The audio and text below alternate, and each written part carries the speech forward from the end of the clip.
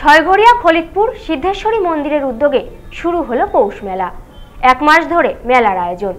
পঞ্চায়েতের উদ্যোগে নানা আয়োজন ভক্তদের সুবিধার্থে। খলিতপুর শ্রী শ্রী সিদ্ধেশ্বরী কালী মন্দিরে সাড়ম্বরে সূচনা হল পৌষ মেলার। আগামী এক মাস ব্যাপী এই মেলা চলবে বলে মন্দির সূত্রে জানা গেছে।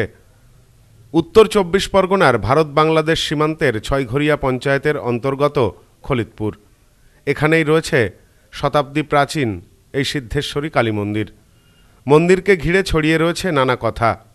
মন্দির সংলগ্ন এলাকায় রয়েছে প্রাচীন সব বৃক্ষ। এই গাছগুলিকে নিয়েও এলাকায় নানান জনশ্রুতি রয়েছে। মন্দিরের এক পাশ দিয়ে বয়ে গেছে নাওভাঙা নদী। ওপারে ঠাকুর হরিদাসের স্মৃতি বিজড়িত ইস্কন মন্দির। স্থানীয় গ্রামবাসী ও মন্দির কমিটির উদ্যোগে এবছর সিদ্ধান্ত নেওয়া হয় গোটা পৌষ মাসব্যাপী মেলা করার। সেই মতো এদিন থেকে শুরু হয় মেলা। পৌষ মাস ব্যাপী নানান অনুষ্ঠানের মাধ্যমে মেলা চলবে বলে জানিয়েছেন স্থানীয়রা।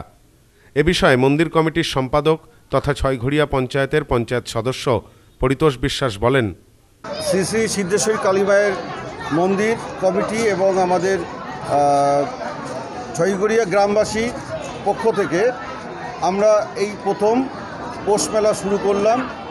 শ্রী শ্রী সিদ্ধেশ্বর মায়ের মন্দিরের প্রাঙ্গণে এবং পাশে যে খলিতপুর নহরপুর গ্রাম হরিদাসপুর এবং সর্বোপরি আমাদের আঠেরোটা গ্রাম আছে, সেই গ্রাম সবাই মিলে আমরা এই প্রথম পৌষ মেলা শুরু করলাম।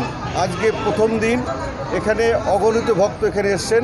তারা মায়ের প্রসাদ দিচ্ছেন ছয়গুড়ে পঞ্চায়েতের সহযোগিতায় এখানে আরও বিউটিফিকেশন করে আমরা পরবর্তীকালে সদভাই কালীতলা মায়ের মন্দির, যেখানে জাগ্রত মন্দির, সেই মন্দিরে যেমন সারা মাস ধরে পৌষ মেলা হয়, আমরা সেটাও এখানে চালু করব।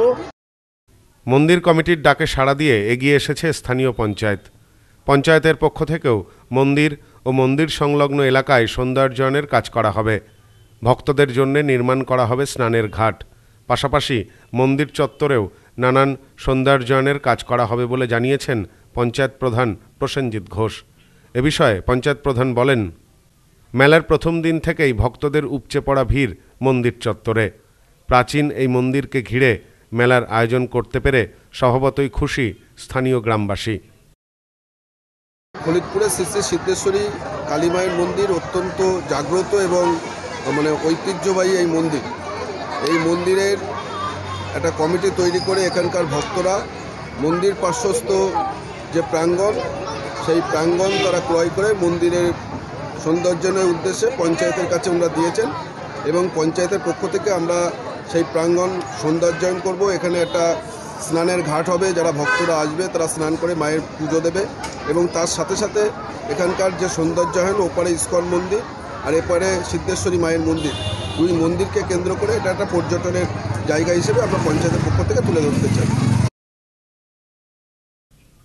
সব্যসাচী ভট্টাচার্যের রিপোর্ট, নিউজ নোম্যান্সল্যান্ড বনগা। নারী সৌন্দর্য শাড়িতেই সঙ্গে রয়েছে আদি মোহিনী মোহন কাঞ্জিলা